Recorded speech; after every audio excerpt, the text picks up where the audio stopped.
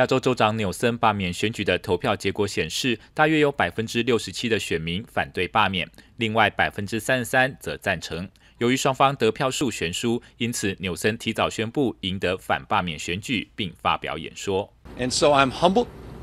and grateful to the millions and millions of Californians that exercised their fundamental right to vote and express themselves so overwhelmingly by rejecting the division,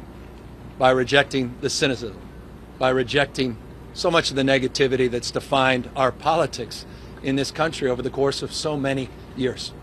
值得一提的是，由于一个州长选举，民主党这次全国总动员，除了副总统贺锦丽曾到场拉票外，总统拜登也前往加州为纽森拉票站台，提醒选民要么选纽森，不然就等于是支持川普。且选举结果也显示，反川普牌依然奏效。东新闻团队洛杉矶报道。